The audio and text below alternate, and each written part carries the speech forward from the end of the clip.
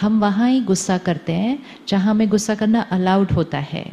जिसके सामने नहीं अलाउड होता है, हम गुस्सा नहीं करते हैं। लेकिन करते करते करते सारा दिन हमारा कितना? नुकसान कितना हो रहा है? ज़्यादा नुकसान किसका होता है? जो डांटता है या जो डांट खाता है? वेरी गुड वो भी है। कोई ऐसी बात ही नहीं है जो नहीं पता है, लेकिन फिर भी बाहर जाके काम करवाने के लिए डांट देते हैं। हर हॉस्पिटल में एग्जीक्यूटिव हेल्थ चेकअप होता है। वर्कर हेल्थ चेकअप नहीं होता? तो कौन से वर्ग का चेकअप हो रहा है?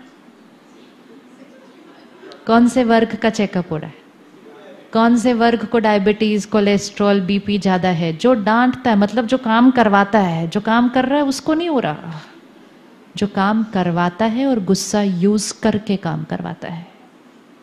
एक चीज़ को हटा लो, आपकी ऑर्गेनाइजेशन की प्रोडक्टिविटी बढ़ जाएगी। Most important the energy field of the office should change office में एंटर भी करना हो तो वहीं लिख दो you are entering a no anger zone मतलब जो क्लाइंट आए, जो कोई भी आए बाहर वाला, उसको भी अलाउड नहीं है। मंदिर कैसे बनते हैं? मंदिर कैसे बनते हैं? मंदिर में जाके क्यों लोगों को अच्छा लगता है? क्योंकि वहाँ की एनर्जी फ़ील्ड अब सोचो, अगर आठ घंटे मंदिर में ही बैठ के काम करना हो तो इमोशनल हेल्थ तो अपने आप अच्छी हो जाएगी। तो फिर ऑफ़िस को क्या बना देंगे? दो चीज़ें ऑफ़िस से हट जानी चाहिए। एक एंगर एंड दूसरा गॉसिप एनर्जी डिप्लीटर्स जो हैं, बहुत बड़े। और जो विजिबल है, देखो, एक जैसे इनसिक्योरिटी है, ये तो अंदर है। लेकिन एंगर दिखता है गॉसिप भी दिखता है। जो दो चीज़ें बाहर दिखती हैं बिहेवियर में, इसको बैन कर दो। कि this is a no anger zone this is a no gossip zone एक दूसरे को जाकर तीसरे की बात करता है। जो सुना रहा है, उसकी एनर्जी घटती है। जो सुन रहा है, उसकी एनर्जी घटती है। दोनों मिलकर जिसके बारे में बात कर रहे हैं, उसकी एनर्जी घटती है और पूरे ऑफ़िस के अंदर वो वाइब्रेशन रेडिएट कर जाती है।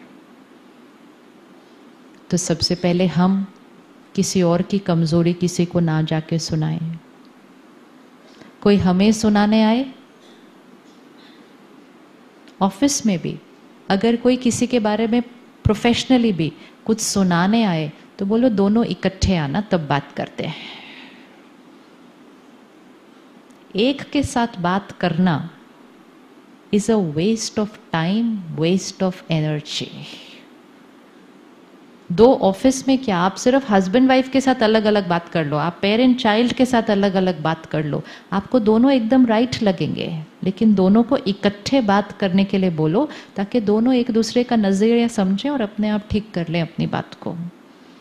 लेकिन अगर हम एक का सुनेंगे अगेन दो लोगों को बोल दो अलग अलग आके इसको डिस्क्राइब करें तो दोनों का डिस्क्रिप्शन दोनों का डिस्क्रिप्शन एकदम अलग होगा।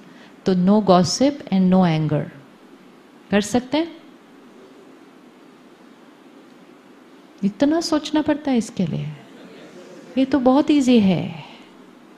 बहुत इजी है। एनर्जी डिप्लीटर्स को हटाना है ना? कि what is pulling down my energy field anger में इरिटेशन टर्बुलेंस ये सब आ गया। वही बात करो डिसिप्लिन करो, लेकिन सभ्यता के साथ। सम्मान के साथ डिग्निटी के साथ, उससे सामने वाले का जो बेनिफिट होगा वो तो होगा, लेकिन सबसे पहले किसका बेनिफिट होगा? अपना। ऑफ़िस में तो सामने वाले को असर होना अब बंद हो चुका है। जो लोग ज़्यादा करते हैं, सामने वाले को तो आदत पड़ जाती है तो वो क्या कहते हैं? चलो, जी, फिर से भी चलो, करो। करो आप पाँच मिनट अपना जो आपको करना है, आप करो। क्योंकि हमें तो अब आपकी आदत पड़ चुकी है, लेकिन सामने वाला बच जाएगा। जो कर रहा है वो नहीं बच सकता because we are creating that anger we are creating that energy so करने वाला नहीं बचेगा।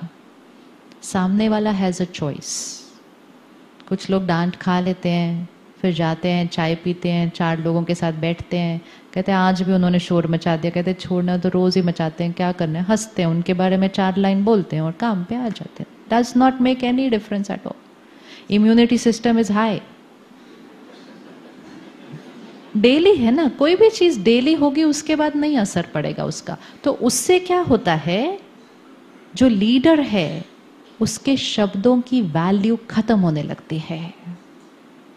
एक पेरेंट भी अगर रोज डांट रहा है क्रिटिसाइज कर रहा है, बच्चों के ऊपर उसका प्रभाव खत्म हो जाता है, क्योंकि शब्दों की वैल्यू ही खत्म हो गई। क्योंकि शब्दों का अब सामने वाले के ऊपर असर होना कम हो गया। So the power to influence the power to transform the power to discipline खत्म हो जाता है। तो अपनी पावर को संभाल के रखना है। हर रोज सुबह पहला से, पहला एक घंटा अपने लिए टाइम होना चाहिए। सुबह उठकर फ़ोन सबसे पहले कौन देखता है? एनर्जी डिप्लीटर एनर्जी डिप्लीटर सबसे चीज़ इंपॉर्टेंट जो हमें एज अ प्रोफेशनल करनी है कि फ़ोन का सही यूज़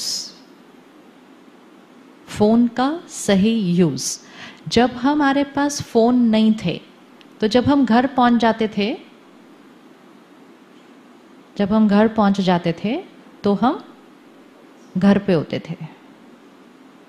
अब जब हम घर पहुँच जाते हैं तो भी हम तो भी हम ऑफ़िस में it's not that not to use the phone but don't use the phone for office work because with messages, with emails, with phone calls, if your mind is constantly at work, तो ये mind rest कब करेगा? आज India में depression rate इतना high क्यों है? India number one है इस साल, पूरे विश्व में। ये हाई इसलिए है क्योंकि हमारे मन थके हुए हैं।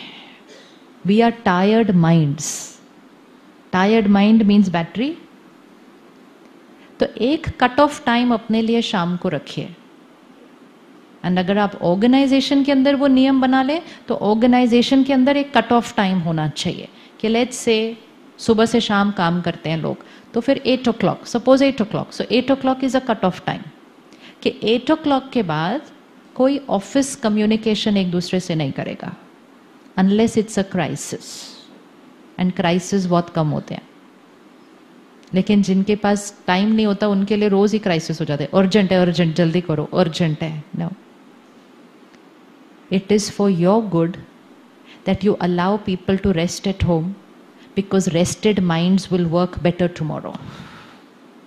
Tired minds will not work well tomorrow. The reason why we are short of time is because the mind is tired. थके हुए मन को चला रहे चला रहे चला रहे काम कर रहे हैं कर सकते हैं cut off time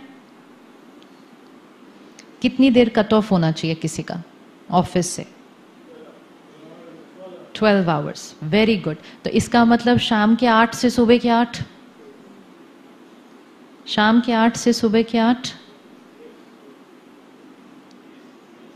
Yes no office phone call no office messages no office emails